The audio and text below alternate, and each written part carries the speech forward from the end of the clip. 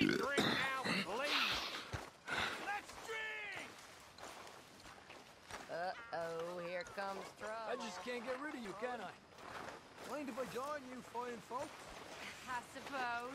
You're looking lovely as ever, if I may say so. Oh, stop. Imagine riding with him all the way from Blackwater to here. This stupid. So, what now? Come on! How about a song? He'll be drinking till dawn now, I bet. Oh, let him have some fun. He's been through a lot. I thought you Irish enjoyed a party, Molly. I am enjoying it. I just don't need to fall over drunk with the rest of them. You know this one, don't you? Go join in. Finally! Some good news, eh? Indeed. I was fearing the worst. Well, you usually do, my love.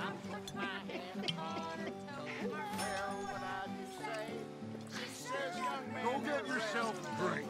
You deserve one. How many times have we heard this song? It's a good one.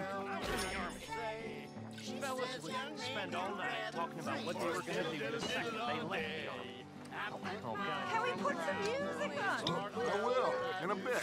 I'm gonna go out and I'm gonna find me a wife. Hell, someone's like, I'm gonna go and dance with the finest whore in San Francisco. You know, some shit like that. You know how fellas is. Diddle, diddle, diddle, all day. But no offense. But you know what every one of them did the second they left young? Army! I mean, here is a group of fellas that spent every waking minute just dreaming of leaving, and, and then they left. Very nice. But how about something a little more civilized? Ah, it's good to be back. I even missed you. you old bastard. and I missed a good excuse to celebrate. This whole shit.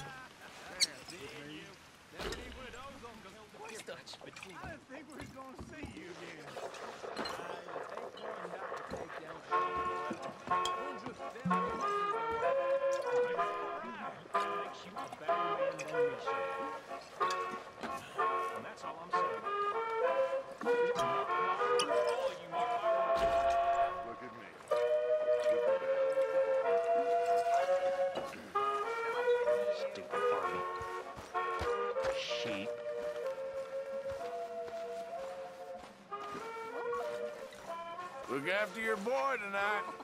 He's not my boy. Okay, okay. You didn't need much excuse, Somebody needs to show you all how it's done. and I'm sure you will.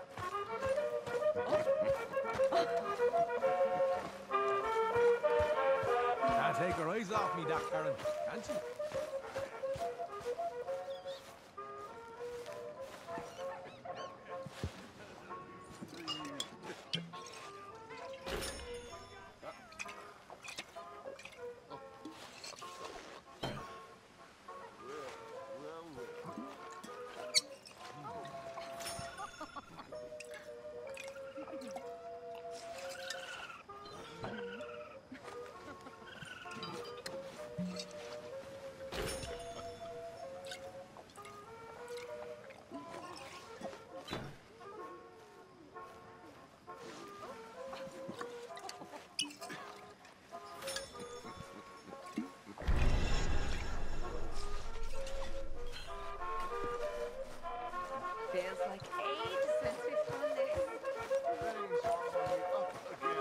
Suddenly you seem much better, Marston.